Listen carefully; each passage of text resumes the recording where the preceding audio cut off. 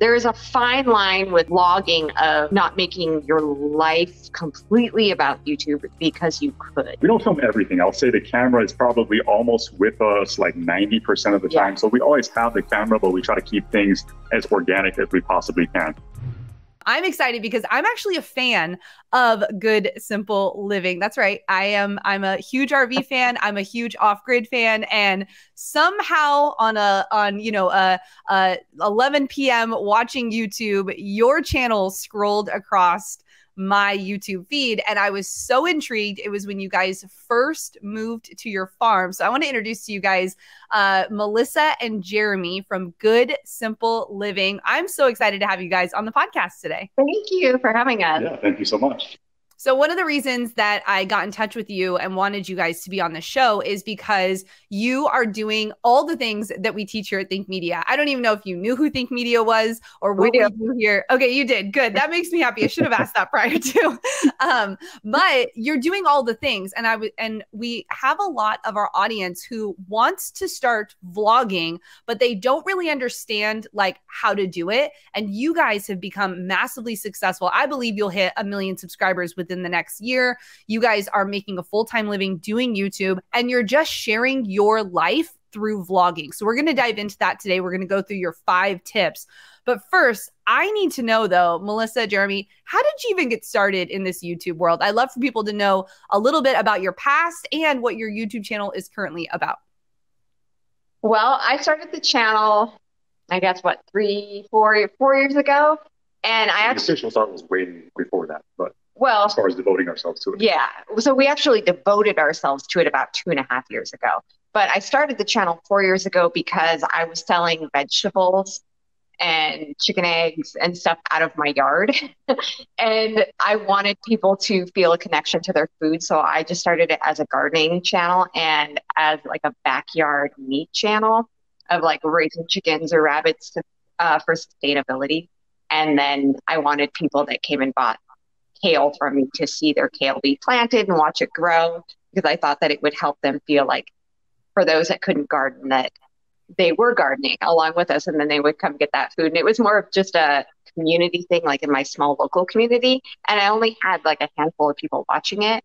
But then I planted uh, or I planted a uh, posted a video about rabbits and then I just walked away from it. I didn't even check on it for 6 months. And then when I went back and logged into YouTube, I had like 10,000 subscribers and the video had a million views. And I was like, what?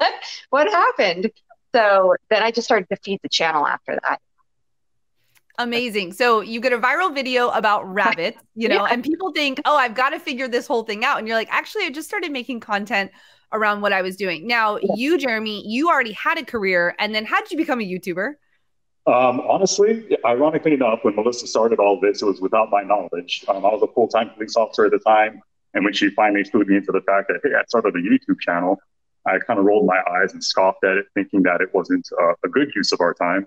And uh, like she said, come to find out, we checked it randomly one day. We had a bunch of views on there. Our channel was not monetized or anything like that. And uh, so from then on, I kind of saw the potential in it and said, hey, you know, yeah, maybe this is a, a worthwhile endeavor. And we kind of poured ourselves into it at that point. Yeah. It's it's been such a cool journey because you guys actually basically sold everything in one state, moved onto this giant plot of land in gorgeous country of I won't say where unless you guys do you guys say where it is? Yeah. It's Okay, North yeah, I- okay. Um, I just didn't know if I knew that just from doing massive research on you guys, or if you actually do tell people that. Um, but you guys moved out to Idaho and you started building a house. I mean, by yourselves, but with other contractors. But you started building your life in Idaho. Talk about like how you two became a part of that journey as that whole thing took place. Well, kind of like you said, when we moved here, we didn't have anything. We didn't have any infrastructure set up. We were actually living out of a camp trailer at the time. We slowly moved that trailer into a barn that we had built here on the property, and then uh, took on the task of building out the living space, which we are in currently. Um, that was a long project, required a lot of us, and along the way, we were just kind of documenting and showing what it is that we were having to do for ourselves to to make life here on this land possible. Yeah. But as far as YouTube went, um, in order to move out into the middle of nowhere and start building a house, which was seven days a week building, we had to come up with a way of funding it and funding our lives and providing for our children because we have four kids as well. So it's not like it's just us and we can eat top ramen and live in a tent. We have four kids. And so we had to come up with a way of funding it. So I said, you know what?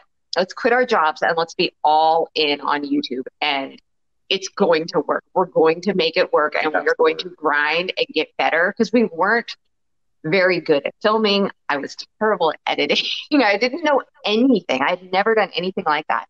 I mean, if you watch our original videos, they're they're pretty rough. I mean, they look like somebody who's pointing a camera at stuff, and I, I film my feet and just weird things. And so I'm like, I'm gonna get better. And every single video, I'm gonna try to get a little better and a little better, and I'm gonna get better with the shots and things. So it was just an all-in thing, like, like sink or swim.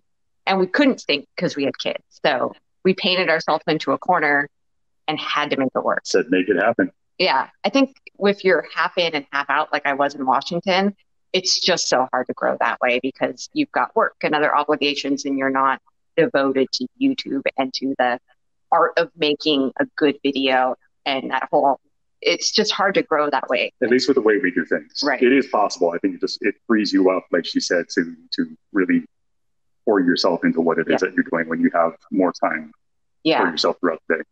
It's hard to quit your job and just say, okay, we're going to be video creators now. so, I mean, that's what we did, but I'm in no way advocating other people to go do that.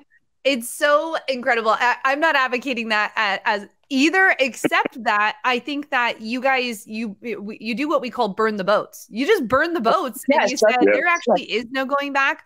we right. are marking ourselves as video content creators. We're going to figure out how to make this work, and I think having that mentality of it not being a hobby, but it actually being a career, a sustainable income for your family. I think mm-hmm. uh, from seeing uh, you guys progress over the last couple years, that actually to me was a pivotal point where where you started to actually see like what are we doing that can make income we're going to have a conversation about how you guys are full-time content creators in just a bit on the second part of this uh, interview but i've got to know you know, when you decided to go all in, what were some of the fears and insecurities about putting your life out on camera? Yeah. I'd say the biggest fear was failure um, and taking on this tremendous risk and letting ourselves and more importantly, our children down um, and our extended family. It uh, proving them right. it was a it was a massive, massive risk doing what we did.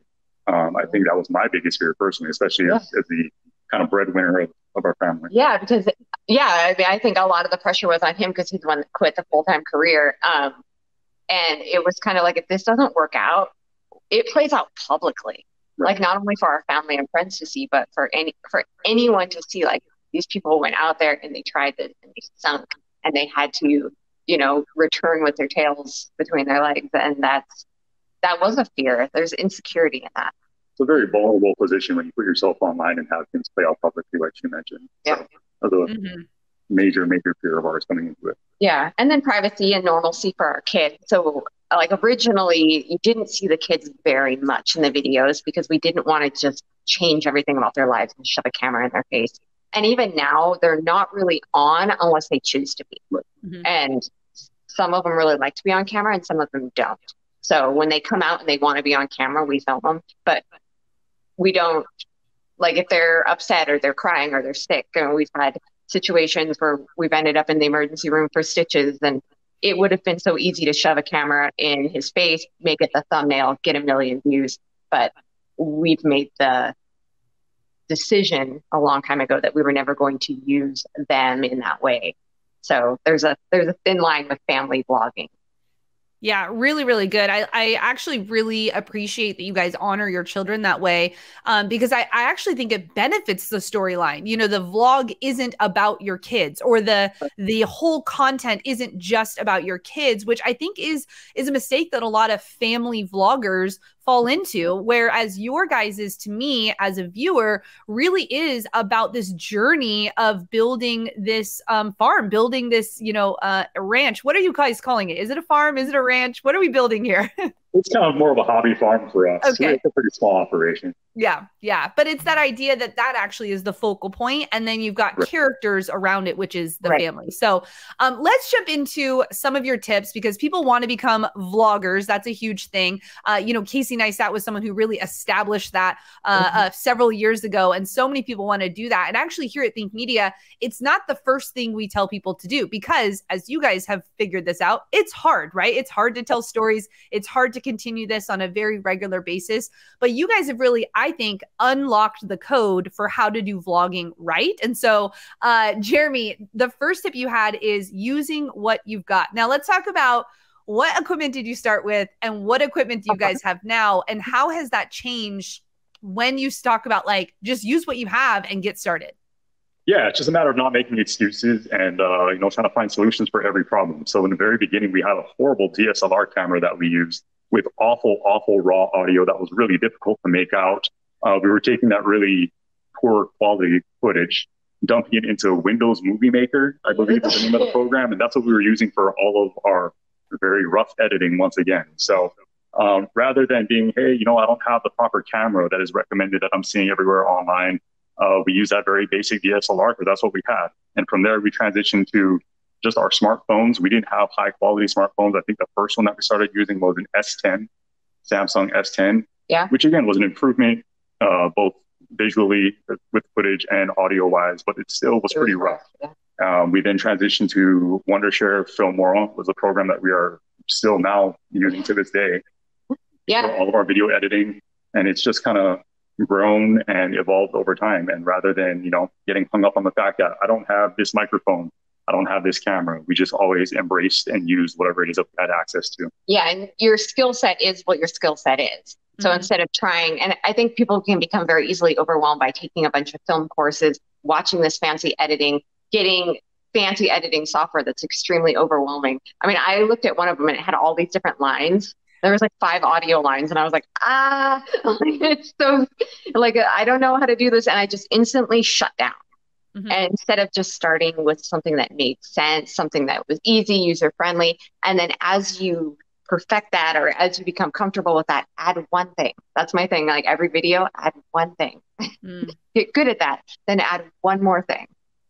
Yeah, really good. And I I appreciate too even, you know, you guys you don't have a studio set up. It's not like you've got like the best lighting and the I mean, you're literally just vlogging your life inside, outside, all weather conditions, inside Yeah. with dust, outside with, you know, so it's this idea of just what do you already have and how can you tell a story with it and um, that actually goes into the second tip which is to be your authentic self melissa has that been something that you've really had to work on over the years of of doing this and how have you applied that to this successful vlog that you guys have Yeah, I mean, it was kind of a hard transition. I was a teacher back in the day, and so I kind of have that that teacher how-to-ness about me.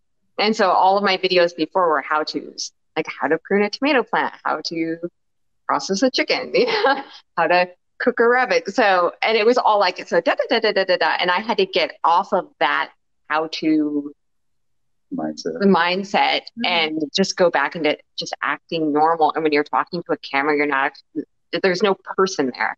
So Mhm. it's hard to be natural and just be yourself. And like that was, Yeah, it's easy to say, hey, be yourself, but being yourself and being yourself on camera are two entirely different things. And kind of like Melissa mentioned, it was the same thing for me. I was a police officer for 14 years. So I had this way of kind of carrying myself and speaking, and I still do it. Every, When I watch myself on on videos now, I'm like, why are you explaining things the way you're explaining them? But um, yeah, it's different, and it's a skill again that evolves along the way, and it comes with constant refinement and trying to improve and get better at what it is that we're doing and devoting ourselves to.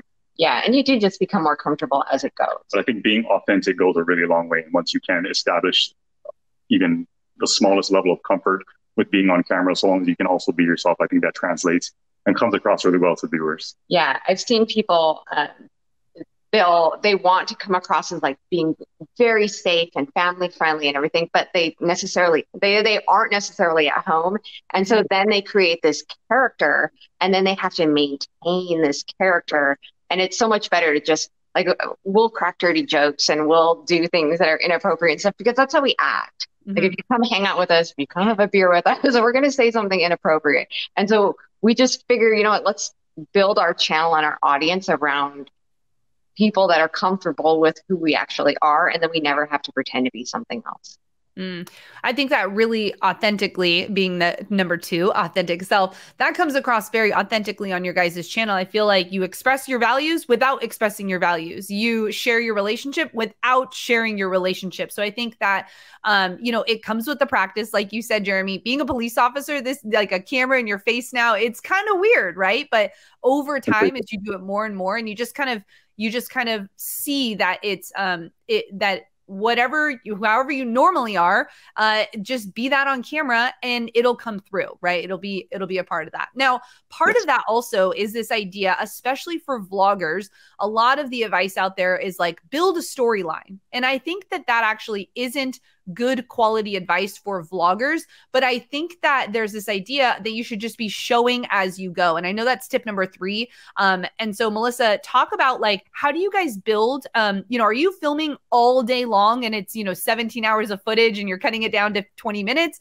Are you seeing different moments to record? What does that look like as you show as you go?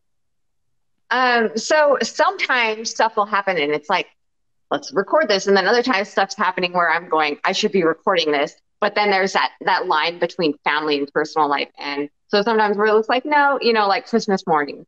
You guys aren't going to see Christmas morning because that's for us. And so there's a there's a fine line with vlogging of of not making your life completely about YouTube because you could.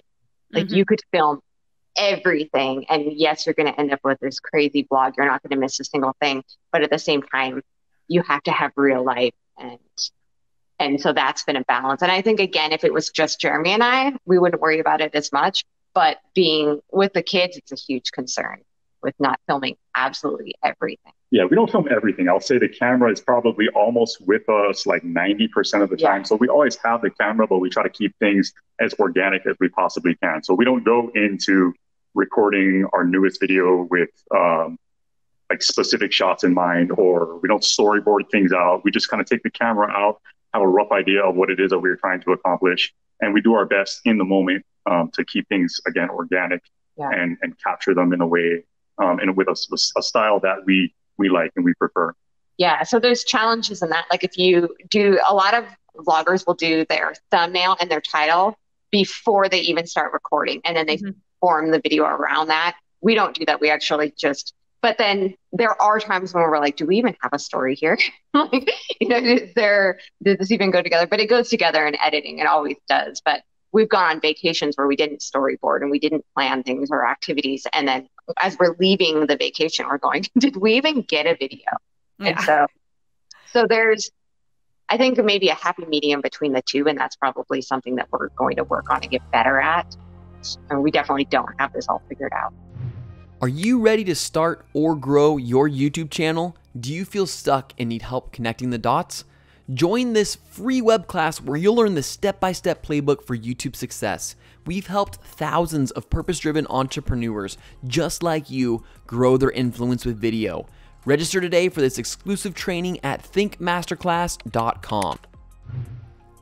Yeah, and as you are showing as you go, I notice that there's multiple camera angles a lot of times. Um, so is that uh something's happening and you're like, grab the camera, Jeremy, move it over here, yeah. or is it like, yeah. let's set up two cameras? What does that look like for you practically? That's, that's part of that style that we liked, where we want to capture something, but we don't want to capture it from the same vantage point for for the entirety of whatever it is that's unfolding. So oftentimes, especially when we're in the middle of like a build project, Melissa will literally shout at me if she has the camera in her hand stop, hold on one second. And then she'll shuffle over somewhere just to capture it from a different angle. And then she'll be like, you know, she'll cue me back in and say, okay, go ahead and I'll finish my cut or whatever it is I'm doing. So we've gotten, I feel like we've gotten pretty good with that workflow wise, but yeah. yeah, we use just a single camera. So when you're seeing all those different angles, that's because one of us is running around trying to capture it from different angles. Yeah. That's so fun. Well, props to you guys because I was like, what do you have like three? Do, are you employing your kids to be a part of this? Like, I mean, all the different angles. And I think that also, you know, we'll talk about um uh, uh one of the other tips, but really to me that you guys are really great storytellers. And I've noticed too um that a lot of times you'll when you say, oh, sometimes we don't feel like we have a video, you do voiceovers that I think really helps to draw the whole video together and really creates a story rather than it just being a bunch of different shots of you guys, you know, putting in the kitchen counters or whatever that looks like. So um. I think that's really cool to see that you're uh, even when you are showing as you go, you're still using a lot of different editing techniques um, along the way. Now, number number four your tip was actually don't watch other family vloggers or don't watch other people that are in your space now but you do watch other YouTubers so that you're starting to see that there's these other options for how to be applying different storytelling techniques. Mm-hmm. Why do you think it's important as a vlogging tip to actually not watch your competitors? We take a tremendous amount of pride in, again, trying to be ourselves and do our own thing and carve out our own way.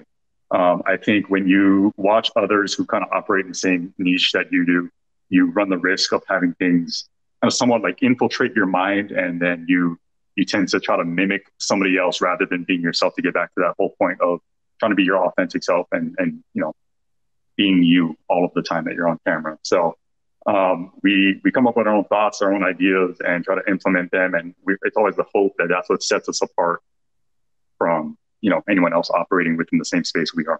Yeah, there's a lot of mimicking that goes on on YouTube, and I think that that's not the best way to start a channel. Like if you're starting a channel, don't copy another channel's name trying to get those immediate views because you'll always be viewed as a copy of that channel. Like you should try to set yourself apart, find what makes you unique and embrace that instead of just copying, you know, like, oh, that thumbnail is really cool. Let's let's do that exactly. Don't do that. Come up with your own idea. Yeah.